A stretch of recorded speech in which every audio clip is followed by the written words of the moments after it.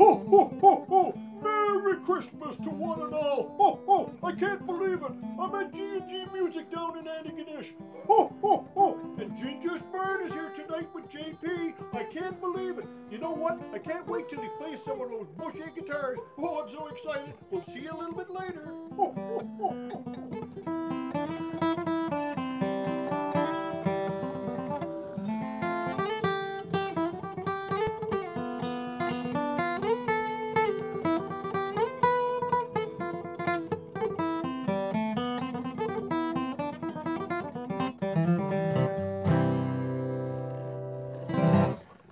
Welcome, one and all, to Wednesday night, our favorite night of the week. Uh, String Theory, live at G&G Music in Antigonish, Nova Scotia, with our wonderful host, Glenn Gotel. And we love doing this. This is our, our Christmas special here. And uh, Glenn's been our partner in this program since the very first night we did it.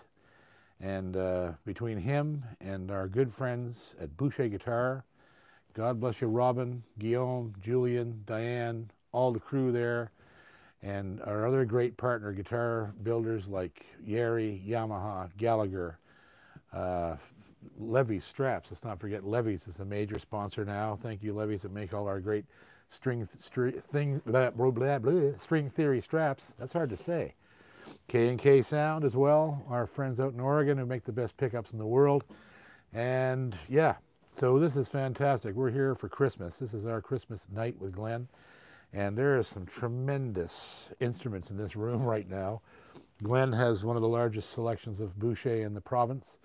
Uh, our friends in Halifax at Fantasie Music already also have three or four down there, and it's the only place you can see them. So if you if you want to come to the number one Boucher dealer in the world, it's Glenn it's Glenn Gotel.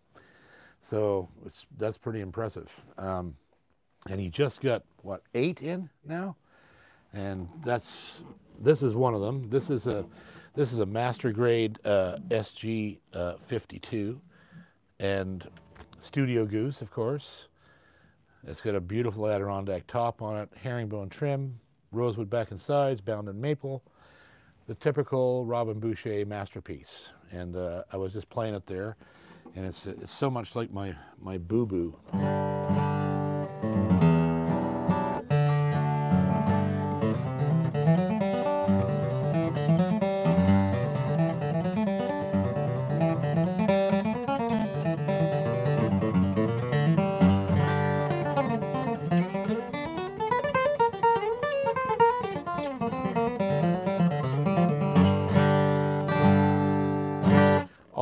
licks come with it, folks, if you buy it today.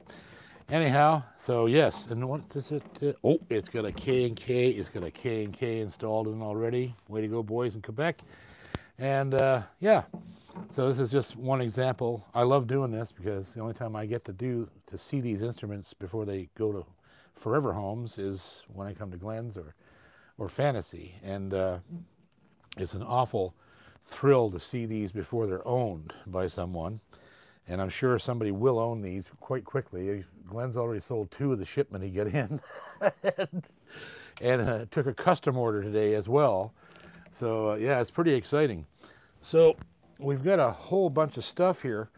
I'll, I'll take a few questions first, and uh, then we'll talk about uh, some of the things that are going on in the shop here, which is just always filled with such great gear. Everything from fiddles to banjos to drums to recording equipment and all the all the stuff you need if you're a picker or a player of any kind.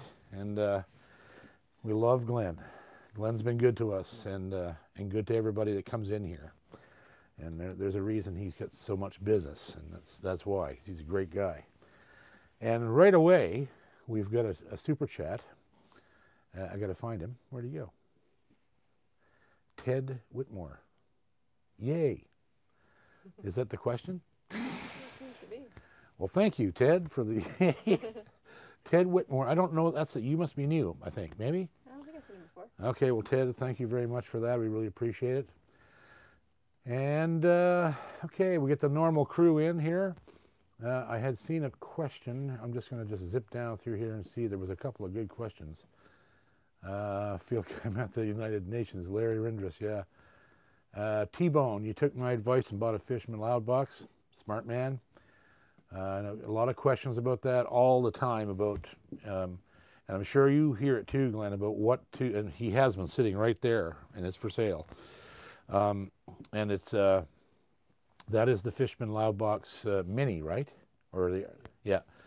So that's the one size sort of below the one that I use, but it's still an incredible amp. And uh, it's it's wire it's wireless too. It's battery powered, right? Yeah, Bluetooth and battery powered. Um, I use the model right above that one. The Artist is called, and I get this question continually. Like I got so I got my Boucher and I got my K and K, or I got my Yairi or my Yamaha or whatever they're, they've run out. Recording King. We forgot to talk about those guys too. Um, what amp do I use? And I've been answering a lot of questions about that actually this week. And I always send everybody to Fishman because uh, there are other types of amplifiers, of course, and some of them are just incredibly expensive. Uh, you know, the the AERs and Schertlers and uh, the Godins and all kinds of different companies that make, uh, you know, specifically acoustic amps uh, for a lot of money, but they just somehow don't ever seem to reach the the the penetration and the clear, clean volume that a Fishman a Fishman does. I'm not a huge fan of Fishman pickups, but the amplifiers are deadly, and I've used them for 15 years. I've had one on the stage with me since uh, prior to 2009, I think, is when I first started using them. So uh, yeah, so that's good. Another super jet hiding down there. Okay, yes, I see that. Um, super chat from Ian Rossiter. Any chance of hearing some chet on the Gretsch behind you? Uh, well, if we had an electric amp around. Really? Yep. Oh, well, let's try that then. Seems it's your lucky day. So, yeah, that, that's a. Now tell the story, Glenn, about where you got all these instruments, because this is fascinating. Well, there's a chap from the Yukon that was watching the uh, the JP uh, channel about a month ago, and uh, he was so impressed. He said, uh, "You look like you got a shop down there." And he said, "Can I send you everything that I own?" Because down in the Yukon, he had a hard time selling it. He wasn't playing anymore, so he shipped me two crates, six by six, out of. He did a plywood and shipped me everything he owned from 10 guitars, banjos, and everything to sell for him. Unreal. They're all they're all just like new. So Yeah. some pretty amazing instruments. Yeah, uh, there's a whole yeah, there's an entire collection from this one guy who who came across Glenn because of us, because of string theory and and uh, that's really cool. I like to see that sort of thing. Um, I haven't I haven't checked this guitar out, but I'm sure she's in fine fine condition. It's hard to put a Gretsch down. They're tough as nails. There we go.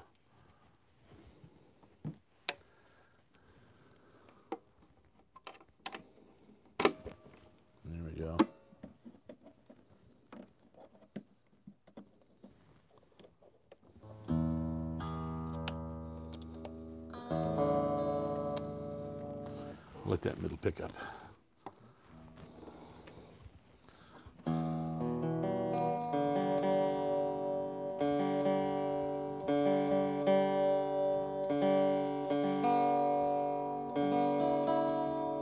There's always been some discussion about any reverb on that thing over there.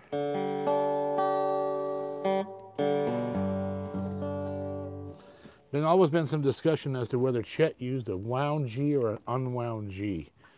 And this this Gretsch has a wound G on it. I'm not sure he used. I don't know if he did or not.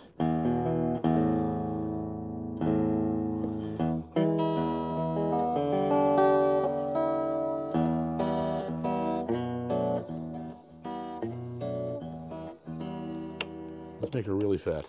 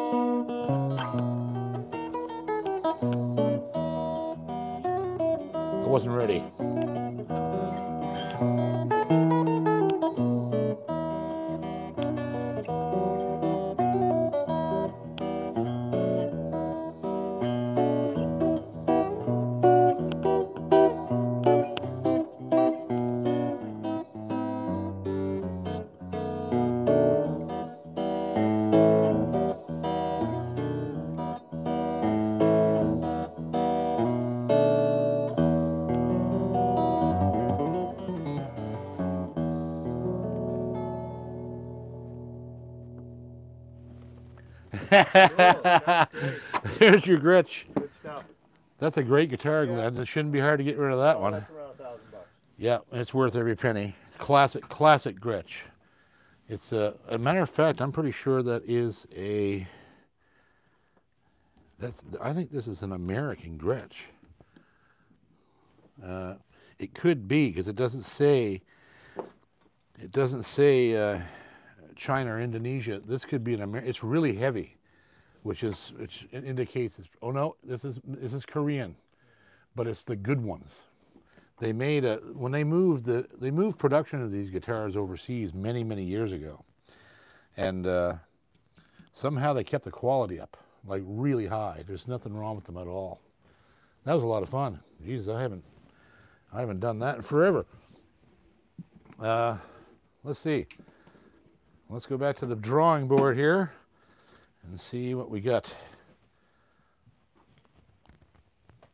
uh, ha, ha, ha.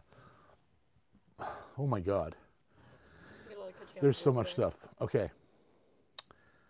Uh,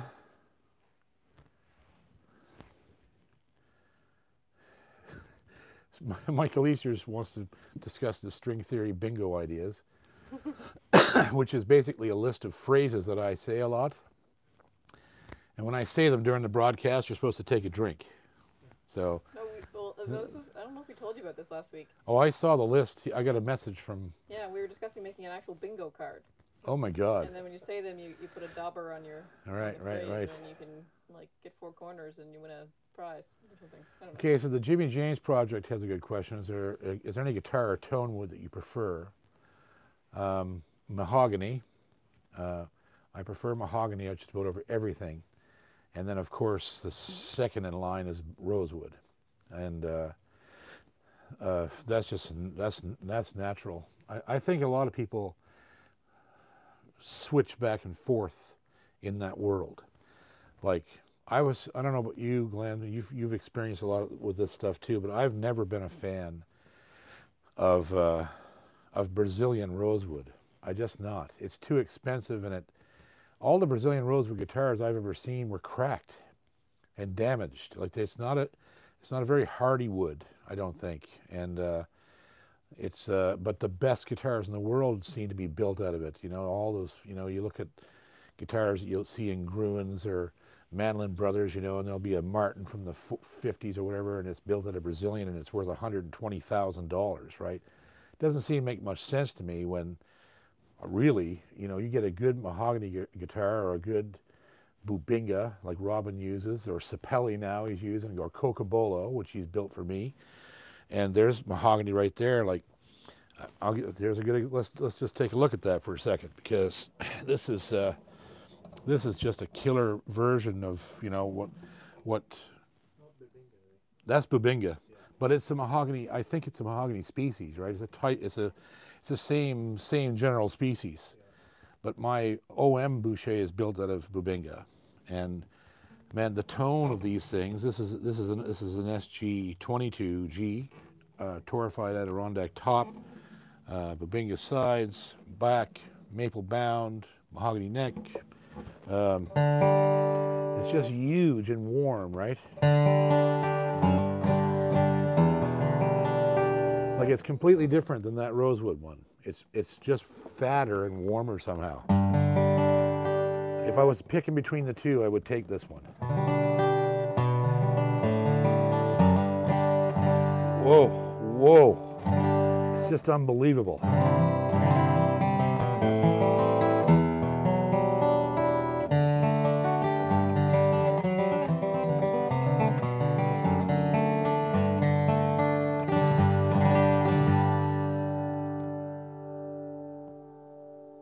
Just go and go and go and go. Now, part of that's Robin, right?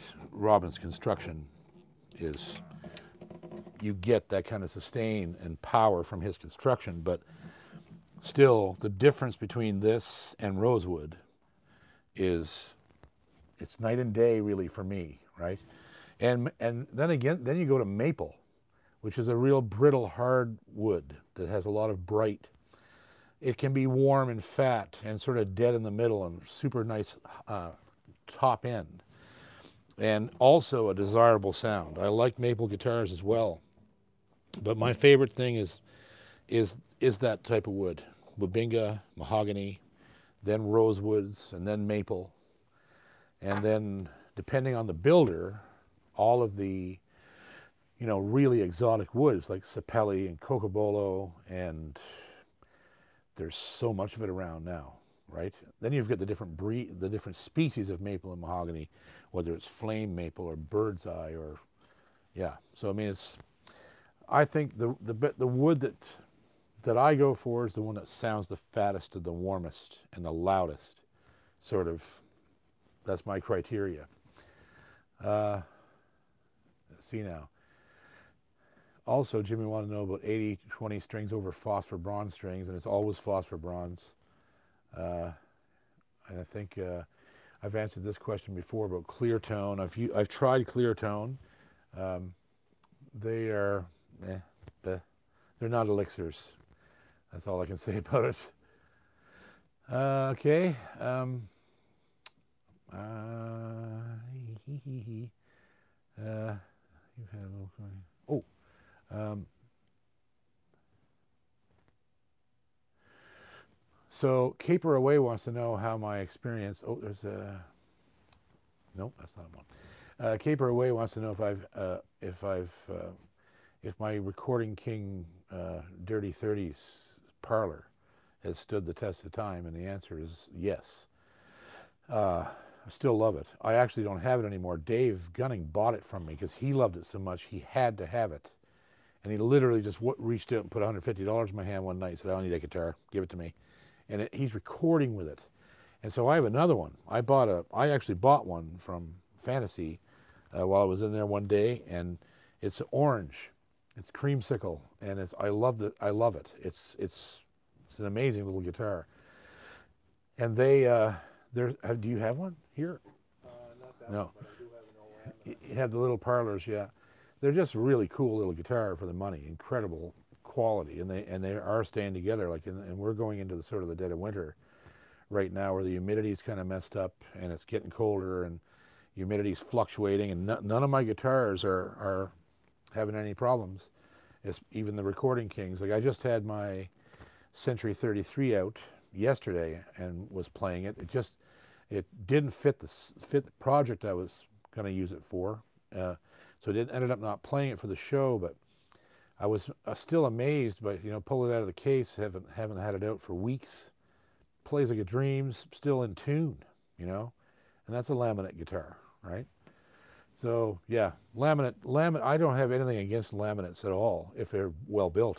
If they're not, well then you're, you know, you're in trouble. But if you get a decent uh, laminate guitar, they can sound just as good as something twice the price, you know? So, uh, my brother Joe says, Merry Christmas, Glenn. Right on, Joe. Yeah. le- Uh, let's see here, Lori. There's a super chat there further down. I don't see it. It's not, on, it's not on here yet. Oh, there's a, yeah, there's Jeff. Uh, is Glenn? so Jeff Gallant's got a super chat up. Chat up. Says, "Glenn, okay with you giving that Santa behind you a solid punch in the face?" no, I, I think we're not going to be able to do that, Jeff. Uh, sorry, buddy. Um, let's see now. There was something else here. Uh, uh, Laura, Carol Dunfield has a question about uh, the Marty party with the Sullivans. Um, I don't. Uh, there's a question. She wants to know if there, if I remember what song I was doing on that TV show, and and I don't remember. It's been many years. Uh, a lot of that stuff I don't remember so long ago, and there was so much of it that uh, yeah, it was hard to uh, was hard to keep track of all that. Uh, Eli Patrick Bluegrass wants to know of all the guitars I currently own, which is my favorite and why. And uh, I can basically say the same thing I always say. My favorite guitars are my Bouchers, and uh, I can't actually pick one of them. Uh, I have a signature model, um, my JP Cormier signature model, which is a triple O cutaway. Uh, you know, well, you've seen, you've sold them, Glenn, and uh, it's it's the best guitar I've ever played in my life, ever of anything I've ever had my hands on, and uh, so I I almost don't count that guitar because it's not fair. It's not fair to any other guitar, right? So it's but but if you take that out of the equation, it's still all Bouchers. My I have OMs, I have Parlor, I have Triple O, I have Dreadnought. If I if I need to do something really incredibly important, that's the guitar I'm reaching for, and uh, it's it's it's still my favorite guitar. Uh, and guitar, he's my still my favorite builder.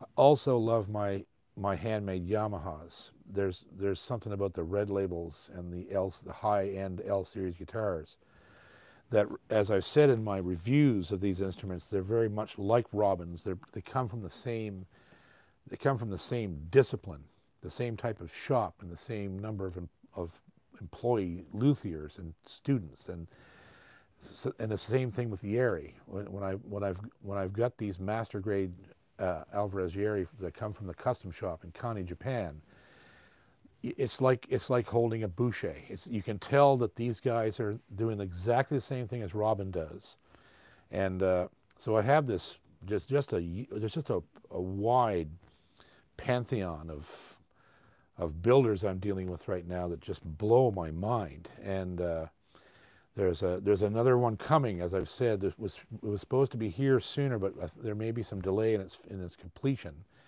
Uh, another luthier out of Ireland, uh, James Martin Guitars, is is building us a guitar for review, and uh, I can't wait to see that because he's a super small shop, one guy, right?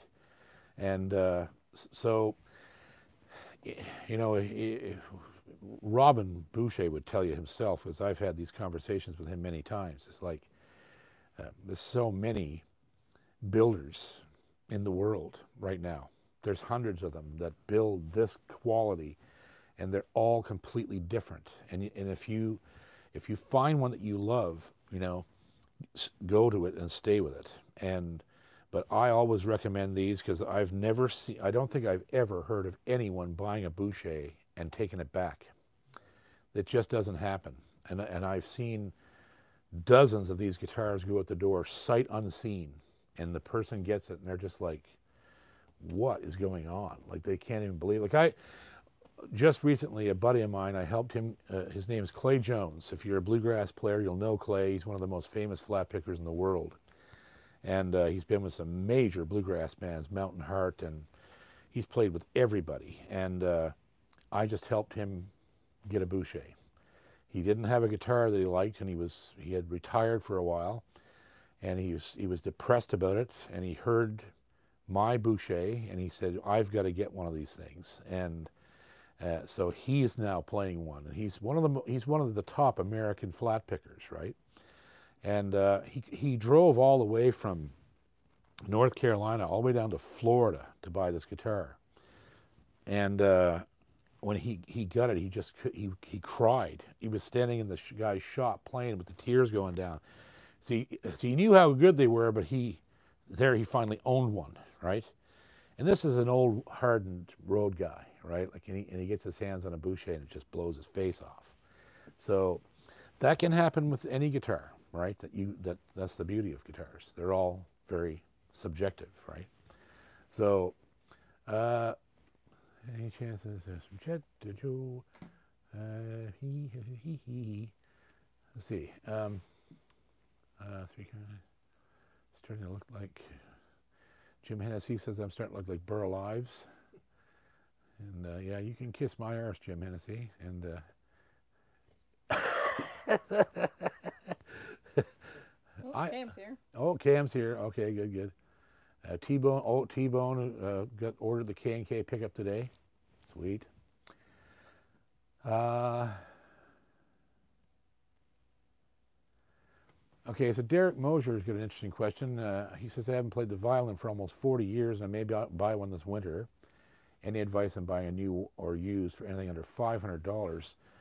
Uh, Glenn has a number of really nice fiddles. We were just looking at these, and I'm sure there's something here that you could get for under 500 bucks, right? Yeah, so I would check here. There's one laying right there, actually, that I was just playing with. Um, right there in the blue. I think that's that's one of them, isn't it, Glenn? Like, there's some really nice fiddles in this shop.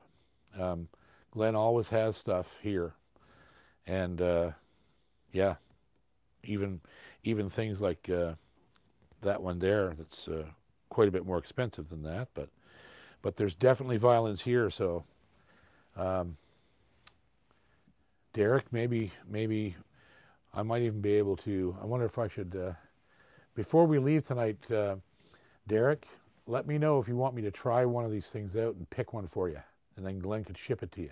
All right. Uh, okay, so uh, Herschel Rector. Oh, he's in Mississippi. I didn't know that, Herschel. That's awesome.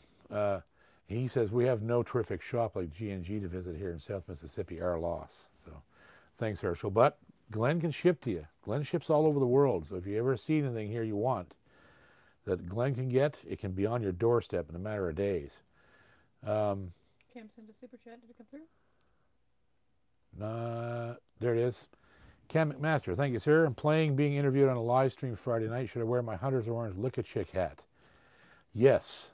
And I would try to have a small bucket of the actual chicken there at hand so that you can so that you can like eat it like and have some falling down your chin while you're doing the interview because it just that's what I would do. So yes, I would definitely get the bucket of chicken and get the whole the, the hat, the, the whole deal. Find a t-shirt too if you can. So you just be totally lick a chick. Dayglow orange or Hunter's orange or whatever you can get. That's that's just my advice. Uh, so, um, eh, okay. Shane Arsenault says G&G Music is the best shop in the province. Thank you, Shane. Uh, we've got stuff. Jeff Gallant says, you'd probably charge more for that amplifier now that I played through it. oh, God. Um, okay, let's do another guitar. Uh, we're falling behind. Let's take a look at the Lakewoods. Another one that I always forget to mention Lakewood. Lakewood, Lakewood is a company that brought me and Glenn together like like 20 years ago, and uh, a, a company out of Germany that he discovered and took the dealership over uh, here in Antigonish and became like the number one Lakewood dealer in North America, and still is to this day. And if you've ever seen Matt Anderson, you've seen one of these guitars because Matt saw me playing them, you know, 15 years ago and started playing them himself, and he's stuck with them ever since. They are a very um, hardy guitar. They're sturdily made. Uh, they're well built. Uh, this is an M32, right? Or D32, right? And uh, they're just a real solid, solid guitar, Martin type solid guitar. And uh, I used them for quite a while. Um,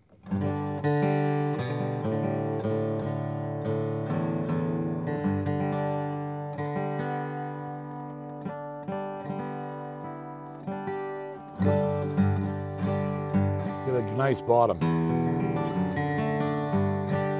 They have what I call a European tone. They don't, uh, European builders don't sound like us. Uh, This, and it's interesting, as I had a long conversation with Chris Meikle at Yairi, uh, and we discussed why the, the Japanese luthiers don't sound like Western guitars. And, the further west you go, the, the more bottom end gets added to the instruments till you get to America and you're playing like D28s that are just these giant bottom end cannons. And Lakewood is like that. Lakewood's a very European sounding. It had a tone like like Furch and Stonebridge, and they got a very unique uh, uh, tonal structure. Right, the, the the color that they put out is not like anything else.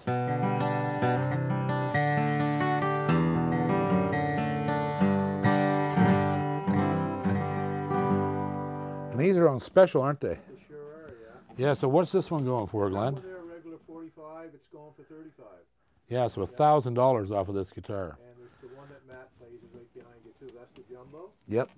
There's good money off of that too. Just for for, for this week. Right. I've only got two of them left, and there's about a thousand bucks off those guitars. That's amazing. Yeah. So yeah, there's about a thousand dollars off of these two guitars, each each of them, and uh, those are nice. That's a nice kind of that's a nice example of uh, of the two body sizes from the from that company. They're really really pretty. They sound good. Um, let's see here. Uh, Jeff has a question, a super chat. does Glenn have a mouth harp and how much to send it out? Well, uh, you mean just a regular harmonica? Oh yeah, good lots. Yeah, he's got tons of them here. And he, yeah, you can ship it to PEI for nothing. Go for a dollar or something. Put that in an envelope, one of those plastic envelopes. Um, yeah. uh, the boys are on fire tonight on here. Okay. Uh, He says not a harmonica, a mouth harp. Like one of those plucky things. oh, you mean a Jew's harp? Bloom, bloom, bloom. Do we have one of those? Uh, You have had those, and I've seen them in here. Yeah. We can find. Too many people breaking their teeth. Yeah. Yeah. Yeah, they're hard in the they're hard in the dentures. Uh, but you could you could get Oh, one. yeah, Yeah, you can get one. I usually have them. in. I've actually seen them in here. Yeah, he doesn't have one right now, Jeff, but he can get one for you. Uh, okay. Uh, just trying to see if I can. harp. Uh, they call it a. They used to call it a Jew's harp, but it's a jaw harp as That's something well. We're not allowed to say. Yeah, well, that's too bad. That's what it's called. It's, if you just look up music history, it was a Jew's harp, and uh, or they, the, of course, they, that got turned into juice harp, and then jaw harp, and I don't. Doc Watson calls it something else. He's he was really good at it. He could play melodies on them that were just unbelievable. Uh, see, I'm just trying to go back through here and see who I missed. Uh, Chris Walton wants to know if I consider reviewing a Yairi W- WY1. Um, act- actually, uh, there's one coming, so wait for that. Uh, I have a we've talked about that guitar, Glenn, the WY1 TS. Yeah. The WY1 is uh, Joe Bonamassa plays them. They're considered Yairi considers them the, their their stage guitars, right? Because they're a little bit more blingy than their normal Master Series, which they try to keep pretty sedate. But yes, there's one coming to the channel, so uh, stand by. Uh, I think Big John should play that ukulele on the wall, and that's not going to happen, Jeff. and uh, and uh, Jeff, I would also like to see Big John punch the Santa. There was a lot of uh, discussion about punching, punching Santa. Yeah. Uh, uh, oh God, you guys are nuts. Um, Jesus, this goes a lot faster when Ginger reads the questions. Um, that's an interesting question. Did I ever get to play the Clarence White Telecaster when my, with my, during my time with Marty? And the answer is no. I I held it. I had it in my hands, but I never got to play it. Uh, I did play, however, uh, the the D45 Martin that was built for Johnny Cash that Martin that uh, Marty owned. I, I played that guitar a lot, and it was a beast. It was from the '60s, and uh, you knew it because it had a it had a square piece of abalone inlaid in the bottom uh, quadrant of the front of the guitar that just said Cash. That was the only uh, customization he had on the guitar. And uh, so I played that guitar a bunch. That, that guitar was always around because Marty always had it. It was his favorite one. And the Clarence White Telecaster, yeah, I had it in my hands. That was that was all I can say. I never I never even played a chord on it. Um, uh, e, eh. That's an interesting question too. The Happy Knot wants to know if I was to buy one bass, would an Ernie Ball Stingray be a good choice, or maybe a Fender? Um, I play all kinds of bass. My bass of preference is Warwick. I play an electric Warwick four string, and I also have, uh, which was also a gift from Robin Boucher, bought a bass one night at a at a at a at a, at a Boucher workshop because I had mentioned I liked it, and uh, he was so pleased with how the, how the clinics had gone. He wanted to get me a present, and he bought me this Warwick Alien acoustic bass. So I have sort of the two. I have the electric and the acoustic sister of the same bass, and uh, before that, I always used Fenders, uh, but also one of my favorite bass players of all time that's ever worked with me, Emily Dingwall, uses a Stingray. They're great, aren't they, Glenn? Ernie Ball's the Stingray basses, they're unbelievable. So I would almost lean towards the Ernie Ball rather than the Fender, I think. Uh, you can use Warwick is good, except they are, I think, are quite heavy compared to Fenders and, and Stingrays. So yeah, you you've got an easy uh, you've got an easy ch- choice there because they're all really good. So good good luck with your choice. Uh, Charles from Georgia says he enjoyed my performance with the symphony. That's great, man. Thanks for watching from all the way down there. Um, I used to do a lot of playing in Georgia. Uh, Jesus, things are really the the boys are getting censored left and right here. Um, Always. uh, and that's sort of a we sort of stalled there. There's a question I saw. Terry Short just said he purchased my signature model, and he says it's an amazing piece of art, and you are correct about that, Terry. Um, and he said, "What my question is, what strings do you prefer?" And I use light gauge phosphor bronze elixirs on every guitar. Um, as I've probably talked about a million times before during this program, um, the uh, I switched from mediums to lights about 10, 12 years ago and never really looked back. So, yeah, let's I saw a question from Joe go by, but you might have missed. yeah, there's a lot of there's a lot of stuff. Oh, ooh. Here's another Bubinga Bubinga Darling. Now this is much like my very first Boucher OM, except it's got a torrefied top. And uh, you might be interested to know that uh, Robin was the first one to ever torrefy a- Adirondack. Uh, it's such a valuable wood that nobody wanted to torrefy because it was too dangerous. You'd often destroy tops. So Robin really got a great process together, and uh, his torrefied Adirondack is unsurpassed anywhere in the world by any builder, and especially for for for sound. I want you to remember this is an OM body. It's almost louder than the dread. Okay, I'm having to yell over it. It's almost louder than the dreadnoughts.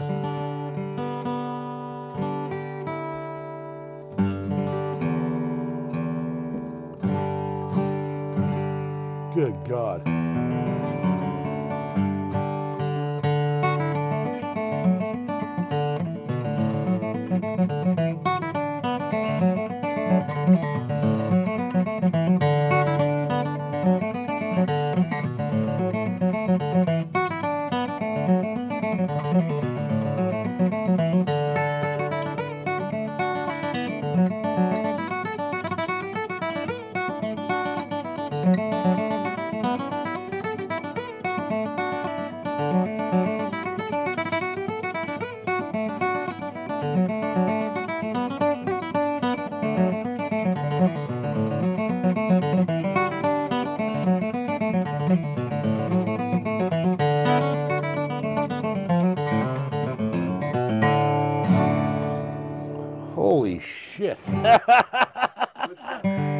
This thing is friggin' ridiculous.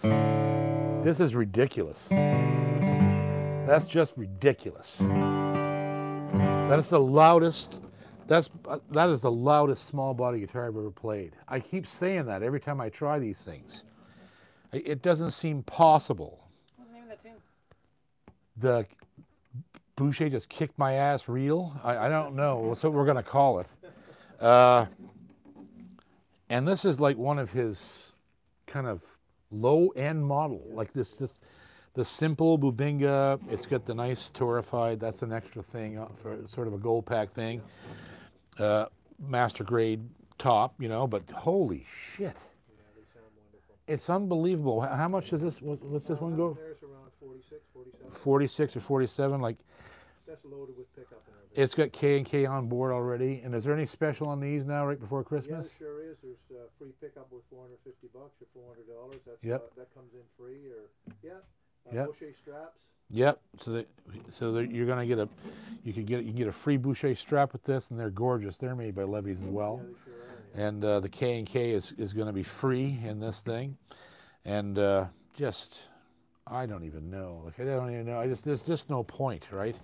You can play any guitar and just after you pick up that, it's a little pointless. Uh, let's see what else is here. Oh, you know what we should do? Want to look? Want to talk about this thing? Sure. I, I think this is a very interesting instrument because I used to play. Whoops. Yep. I, I used to play uh, one of this guy's mandolins, and um, uh, unfortunately, I hate to say this, I can't remember his name. It's terrible, but it's been so long since I worked with him. Not rubber. No, uh, uh, ah, damn it. Uh, but anyhow, he's a tremendous luthier. This guy, and he made beautiful mandolins. I bought, I bought a Weber mandolin, a Yellowstone it was called, and I used it. It was the first, it was the first high-end mandolin I ever bought, was ever able to buy, and it was about, it was about twenty-five hundred dollars, you know, twenty years ago, and I used it on. Uh, uh, it was on uh, now that the work is done. That album that whole album all of the mandolin on that album was all that mandolin. And he was a tremendously nice man. And little known to me really anybody he he builds archtop jazz guitars. And uh, this is an incredibly valuable instrument because it's so rare uh, there may only be two or three of these on the planet right because they're all built by hand by him alone. And this thing is really freaky. It's a it's a beautiful guitar. If you were a jazz player,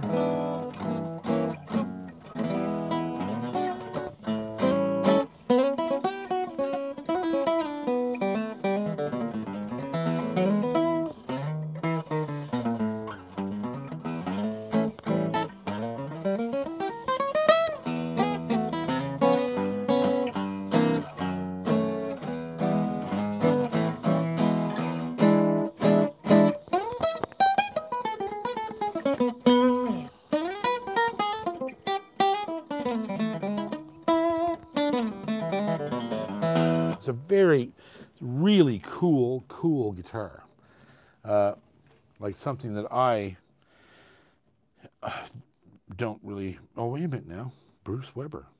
it, it doesn't sound right though. I don't. For some reason, I'm not thinking that was his name. But anyhow, yeah, this is an amazing instrument. And you, what's your 3,600 bucks on it? Yeah, that was around 6,500. It's going for around 35. Yeah, like it's, this is this is easily a six to ten thousand dollar guitar to collectors, and Glenn has it on for thirty six hundred dollars. And if I was that type of player, um, I'd buy it in a heartbeat, and because it's something really special, and it's so rare, so rare. I don't know. I, I just I've never seen one before, and uh, I'm well versed in his mandolins, but this is a beast I did not know existed.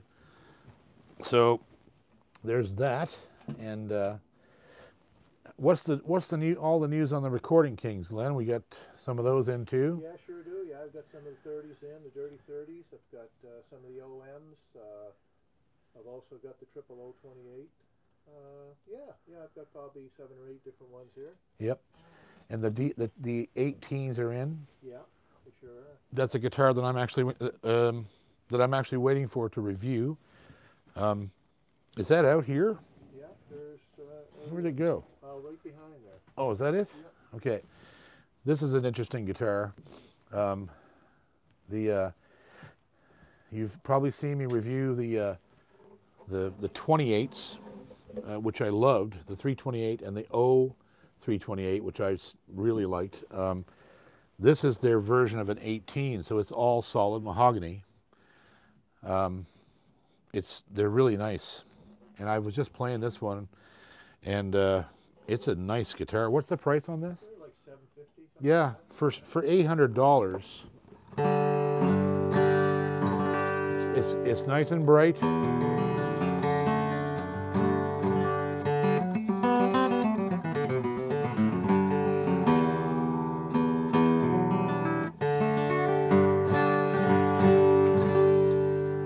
It's got a lot of personality. And it will and it'll age out nice. And they're and they're built sturdy. So because I've never had one fall apart yet. So yeah, it's a really cool guitar. Um, interesting, just because it's based on that eight, on that 18 premise, that mahogany body, right? But uh, yeah, and you're and with all these Chinese instruments that are under a thousand dollars, you're you're you're always able to possibly find a freak, right? That's really really good. And uh, so I say for any company, not just Recording King, but if you're looking for at these budget instruments that are made over there, um, to these specs, you know, good specs, uh, always go to the store to play them to make sure that's the one you want and that there's no defect and all that stuff because uh, none of these companies have perfect quality control. They do their best they can, but they often can't uh, catch all of the problems. So that one there is really nice. It's set up nice. It's a little quiet, a little quiet in the bottom end, but um, I think that would open up after a while because it is solid. So, um, A super chats there. what is the range? Cam is a super chat from Thanks Cam. What is the range of a Gibson acoustic? And he says depends on how far you can throw it. uh, There's one from Tim uh, see here. lower down. Dax, the bass, the wants to know that what the bass tuning was when I was playing with Tom Swift, and it's all it was all just standard. Just that that's what that's my Warwick Alien bass, by the way. Uh, so uh, yeah, I can't find. Jeff wants to know about the Jews harp. Um, would Glenn do a trade for the Jews harp for a Fantasie Music gift card? oh, Jesus, way to go, Jeff. You know, you're a special class arsehole, you know that? That's why I love you. Anyhow, he's trying to get us in trouble. Um, let's see. Jeff, uh, how's the chat? Uh, all right, so we're okay. We're out of questions right for right now. Uh, we're getting Super from, I got it from Tim. Uh, has not shown up. Oh, Oh, there it is. Oh, there's Tim. He's in India. Loved your recent show with Symphony Nova Scotia. Did you write the arrangements? I did not, Tim. Uh, they were written by Chris Church, and uh, um, now I'm not going to be able to call his name because I'm trying to think of it. The oboe player from the from the orchestra is a genius, genius uh, arranger, and uh, he was the other person who did some of the arrangements. Chris Church did, I believe, another morning, and um, most of the uh, most of those five tunes, I think. But uh, the other gentleman did the Lightfoot song, and yeah, there's a that's a real collaborative effort. Symphony Nova Scotia is amazing because they're all they're not just players; they actually are all composers, arrangers. They can build charts for 80-piece orchestras. Almost all of them are able to do it, and so it, they build their own where they would have possibly an arranger outside the band to do things. They don't do that. It's all internal, and uh, because they're so talented, and there's some seriously talented writers in there, right? Composers. So uh, yeah, thanks, Tim. I hope all is well over in India. Um, uh, let's see here. Uh, R. Murchie, Murky, Murchie, Murky, Murchie, uh, is new to our community. Welcome to the insanity of string theory. I'm your host, Rod Serling.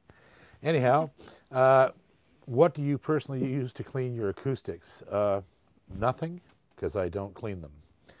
Uh, and I probably sh- shouldn't say that too loud, but I don't. I don't clean my guitars unless they look like crap. uh, Like if I if because in the summertime I'm a heavy sweater, so if I get a guitar that's get, that's got a big dull patch where my arm is sitting, I'll just take a soft cloth and wipe it clean. That's that's all you have to do. You don't have to use all kinds of tricks and chemicals and bullshit snake oil to clean your guitar. Just take a soft cloth and wipe it down.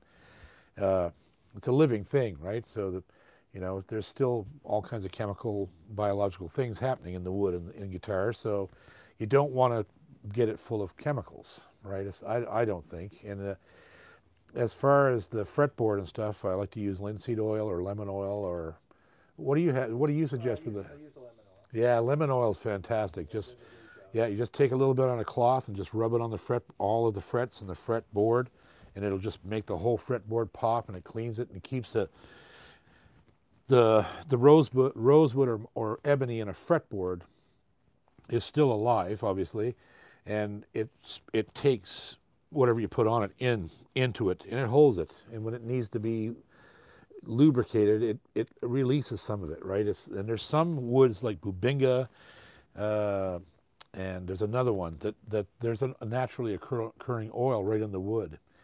And so there's a few there's a few bass companies used, that used to build fretboards out of it because the fretboards stayed so slick because it was still oil, which is a sap really, coming out of the wood. So, like I mean, you just yeah don't use Comet or Javex or anything. Soft noticed that- soft cloth and You wait. noticed I've been lysoling all your guitars? I'll take that as a no.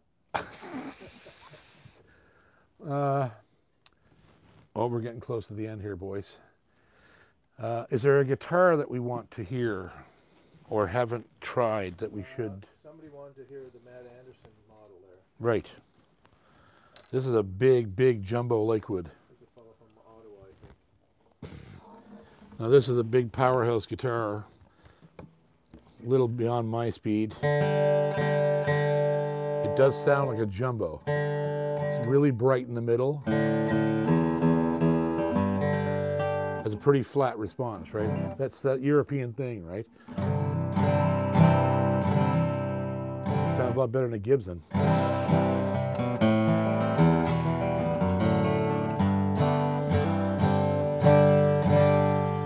Really, really crisp, and I think that's why Matt plays them. Because when he plays lead and does things, he wants the guitar to cut, and Lakewoods do that really well.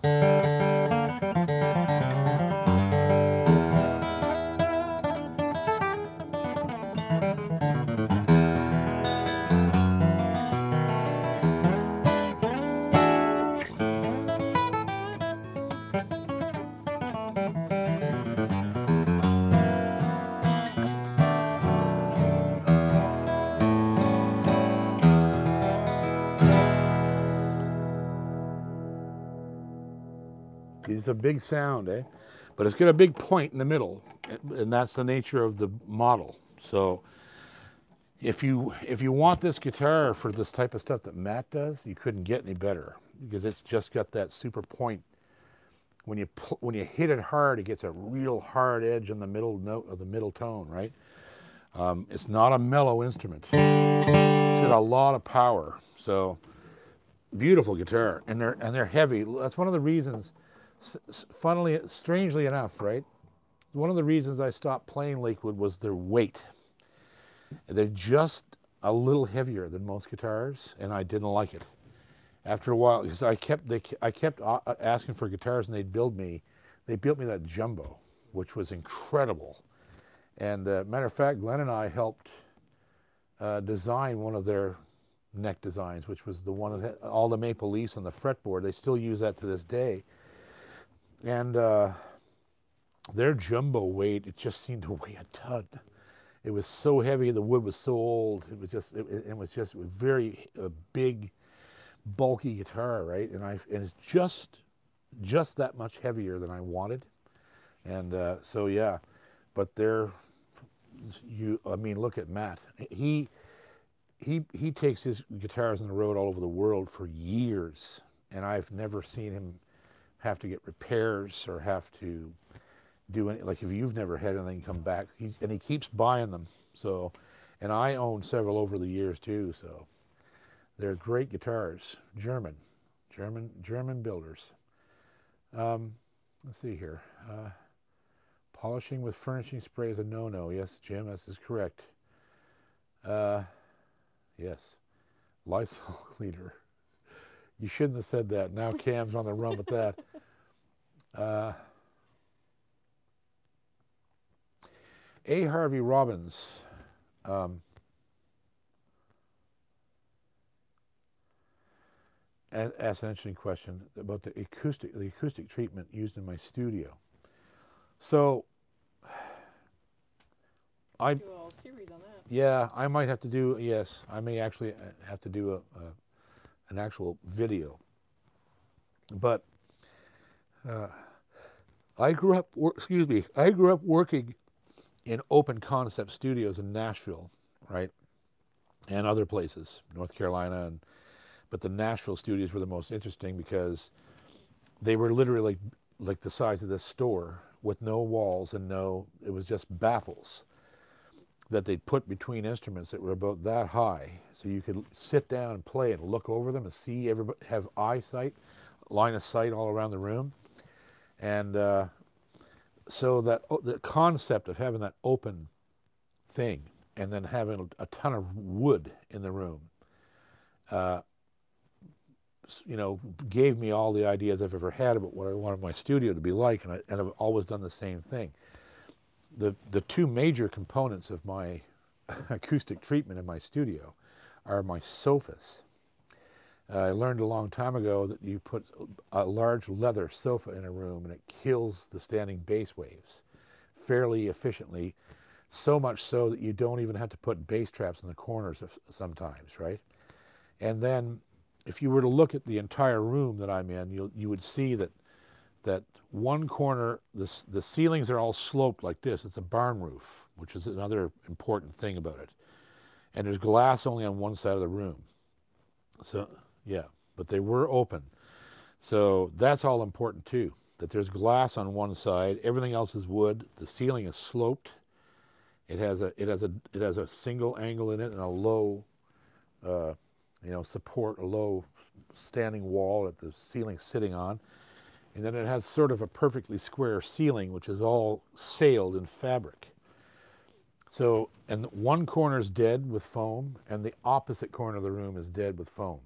So, it basically kills all the standing waves. So, it doesn't matter where you are in that room, you can play an instrument or sing, and you sound the same everywhere in the room and that's magic. And plus, the room itself is a microphone. There's a pair of stereo AKGs on the walls, about seven feet up the wall, on either side of the room, which turns the room into a giant amplifier. And so you can be close mic'd and have the room on, and it's all just old technology. There's nothing su- surprising or smart about what I do. I, it's all just technology that's been around for 75 years. Uh, yeah, you can look at any of the old studios and they all kind of look the same. And there's a little baffling, there's a little wood, there's a little furniture. You know what I mean? And it's just, it's all diffusion. So, however you get your diffusion, uh, you get it any way you can and use what works, right? Um, okay, so we're down at the end here. And uh, I have an interesting question tonight. Uh, Gunning and I spent about four hours last night listening to our favorite music. And uh, he played a song that I love and have always loved since it first came out. And so I want you to tell me who sang it and wrote it. The song is called uh, If You're Only Lonely. Whoever tells me that is going to win some various prizes I will describe. So get ready to write this down, Glenn, or somebody. Maybe pass me. I'll. I'll. If you'll pass me, are you able to pass me that? Possibly. Maybe. Where is it? Oh, Scott McCone is number one.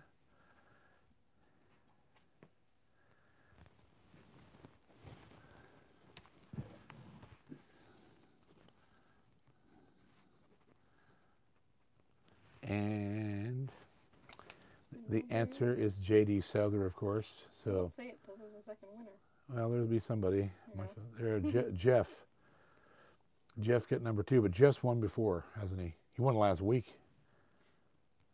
Did another one, John. Let's do John. John Subjak. I'm sorry, I just ruined your name, brother. Sorry. John, you won the second. You won. You're you're in second, not second place, but second person to win. Uh, so, so John uh, Sobchak. Sobchak. I don't know. Sobchak. S O B C Z A K. C Z A K. Okay, so Scott McCone, um, we, we're going to give you the um, uh, the Fantasie pet prize because you live right there in Halifax. So I'm going to give you the Fantasie prize, and you can get a $25 gift certificate from them. And we're going to put you in the draw for that little Yamaha amp that they're sending us. It's a pretty nice amp. Um, it's a Yamaha desktop acoustic amp. They're top of the line one. Uh, so you can go down there and get your $25 gift certificate, and uh, there's other sales going on there as well. I know uh, Steven's always got something going on. And John, you're going to win the G and G prize, which is always good. You get a. Uh, have you have we got the have we got the straps in yet? Because they're making them. Yeah, I think I might have one left, but I have more coming. Okay, so you'll get a custom Levy's uh, either string theory or G and G style uh, strap, set of strings of choice, and a, and a winder, and uh, there's all kinds of. You'll have to call Glenn because there's so many deals on these guitars right now. That now's the time. Is there anything you want to mention specifically? Well, yeah, I got the Recording King. It's fifty dollars off all the Recording Kings until Christmas. Uh, Boucher's, you the free pickup, of course, and a Boucher strap. And there's lots of other things, places, uh, all kinds of stuff kicking around. I just want to thank everybody for all the support uh, they've given me over the years, and thank JP and Ginger for doing the show here. It's been great, a lot of fun. And thanks Santa Claus too. so come on down and uh, give me a call, and we can fix you up. Right on. So Scott, uh, you send me uh, send me an email right now at jpcormier38 at gmail.com. jpcormier38 at gmail.com and reference winning the contest for, for tonight, uh, JD Souther. And John, S O B C Z A K, I don't know how to pronounce that. That's a really strange one. Uh, John, same thing. Send me an email right away to jpcormier38 at gmail.com and I'll forward your name to Glenn here and he's going to get you sorted out with whatever you might want. And uh, I'm going to finish off the night because I can with this wicked SG51 Rosewood OM Boucher that is likely going to melt part of my face as they usually do. This, how can it be so loud?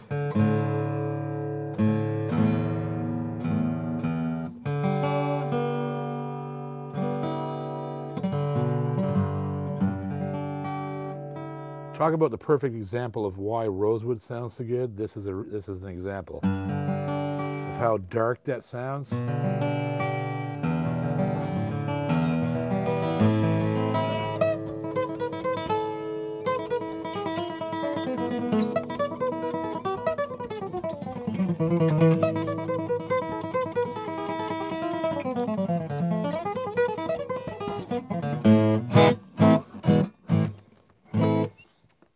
Thank you. Have a great Christmas. Well, we'll see you before Christmas one more time anyway, or twice.